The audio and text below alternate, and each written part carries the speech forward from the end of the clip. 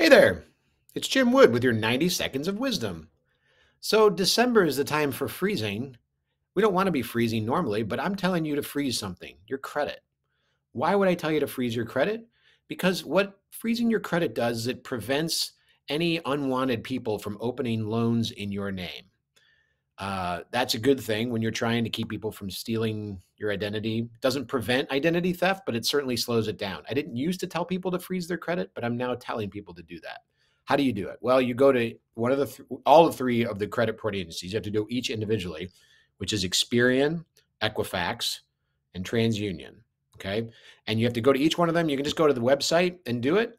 Um, freezing your credit is free. There's no charge to do it.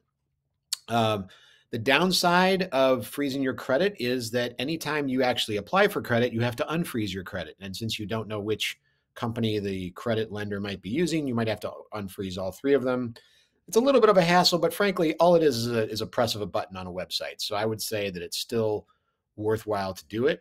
Um, by the way, it does not affect your credit score in any way. Whether your credit is frozen or unfrozen, it has nothing to do with your credit score. So I recommend you go to all three credit reporting agencies freeze your credit if you don't need it right now, unfreeze it when you need it, freeze it again. Yes, it's a hassle, but it'll save you some big hassles in the long run. So go freeze yourself.